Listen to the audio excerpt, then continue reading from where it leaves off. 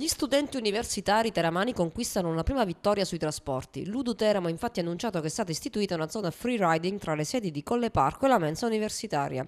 Il free riding permetterà agli studenti di potersi recare a mensa gratuitamente dalle sedi di Colle Parco e di fare il viaggio inverso altrettanto gratuitamente. Siamo entusiasti per l'installazione anche delle pensiline nella fermata della mensa, si legge in una nota. Da sempre ci battiamo per la realizzazione di una città universitaria.